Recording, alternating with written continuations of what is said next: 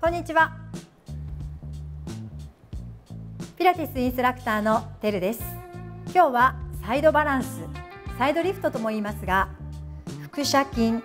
特に脇腹と肋骨の周りの横の筋肉を鍛えるエクササイズを紹介します。このエクササイズとしては脇腹だけではなくて腹筋と背筋のバランスも取るので非常にコアのトレーニングとしてはきついんですが効果は高いです。まずは体の使い方として右側からスタートします。肩の真下に肘をつきます。横向きになる時にこの肘の位置が遠くについたり体に近いと首や肩を痛める原因になるので必ず肩の真下に肘をつけてください。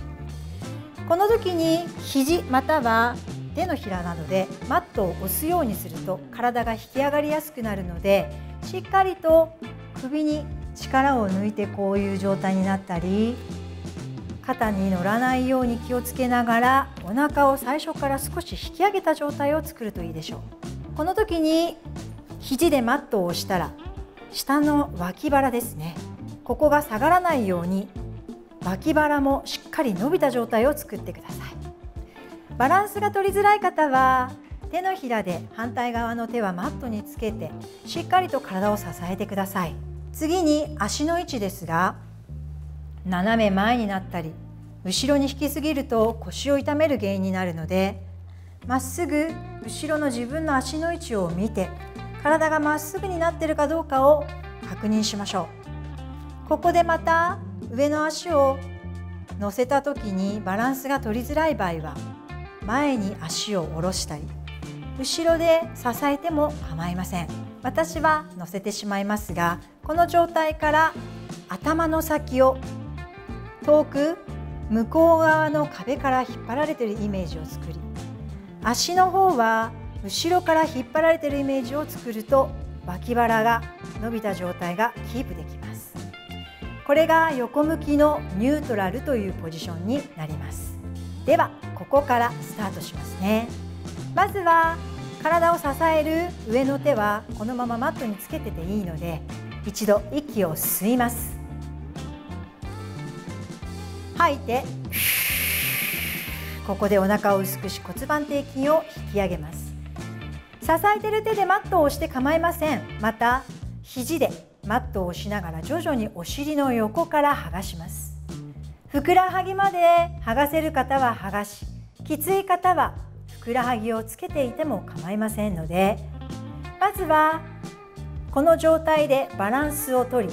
頭の先をもう一度また向こう側から引っ張って体がある程度支えられたら下の手を離して気をつけの状態を作ります。まずここでバランスが取れたら脇腹が縮んでいないかどうか。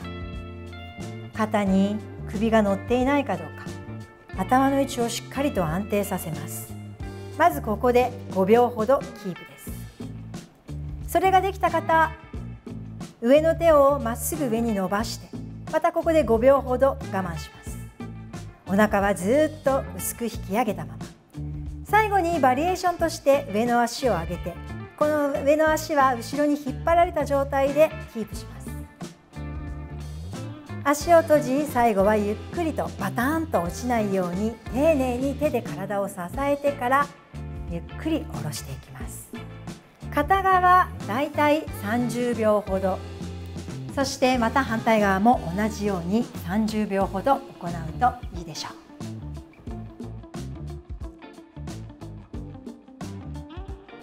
肩の真下にしっかりと肘をつき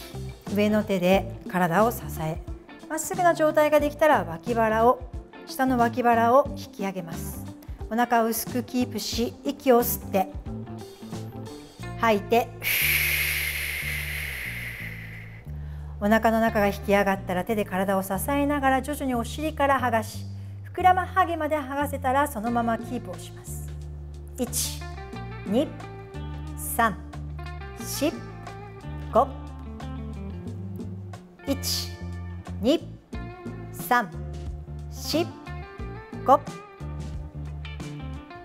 1 2 3 4 5 1 2 3 4 5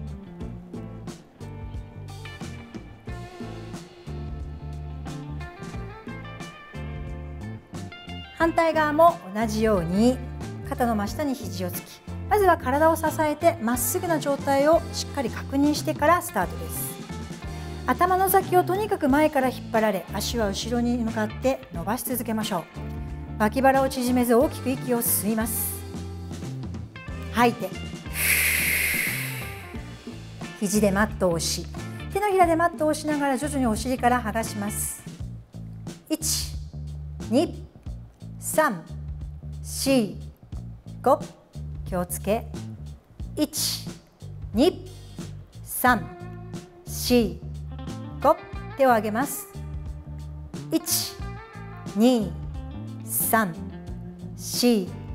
5上の足を開き後ろに向かって引っ張り続けます。1 2 3 4 5足を閉じ頭の先は遠く引っ張り続けます。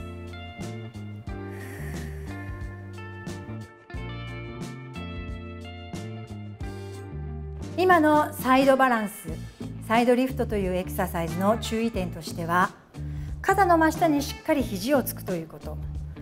下の支えている脇腹が縮んだり腰が反ったり骨盤が前に出たりしないとそして体を前と後ろからしっかりと引っ張るということ。そのバランスをしっかりと取れると脇腹に非常に効果があります。以上の3点がサイドリフトの注意点になります。